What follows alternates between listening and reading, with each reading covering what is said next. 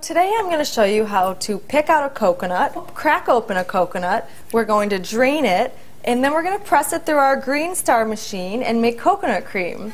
And once we have our finished product, besides it being so nutritious and delicious, you can brush your teeth with coconut cream. You can make shampoos and soaps. They've been using the oil in coconuts for years as cleansing agents.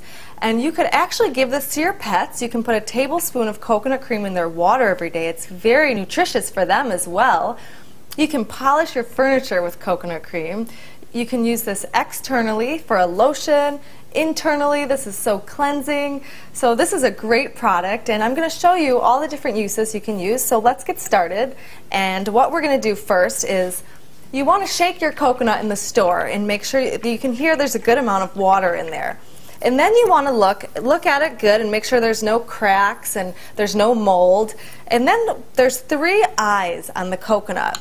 One's always a little bit, you want to just test it. One's always a little bit softer, and you're gonna, we're going to poke that with our oyster shucker. You can pick these up at any local seafood restaurant. This is the best tool I've found to poke your coconut and also to shuck out the meat. So what we want to do is go ahead and place it on your cutting board and just, I've got my sweet spot here, and just go in there and just turn. And you want to just give it a good turn so you have enough of an opening for the liquid to drain out. So what you also want to do before you drain your coconut is test the water to make sure that it's a good coconut. Mmm, that's a good one. All right, now we're going to drain our water into our glass. And we're going to go ahead and save our coconut water. It has so many health benefits as well. And we're going to add it to our smoothies, or you can just drink it. Now, there's times when I'm not going to add it to a smoothie and I want to strain out the little bit of meat that comes out with it. You can just put a little strainer in your glass. Something like this would work. And you can go ahead and just strain your water if you want, your coconut water. Now, if you want to make coconut milk, you can actually take this water and the meat and blend it into a milk. But we're going to save our water and we're just going to take the meat and make the coconut cream out of it. So what we want to do next is hold, hold the coconut in your hand. And we're going to go right around the center here with our hammer. You want it to be kind of loose in your hand. And just cut, start cracking and just turn.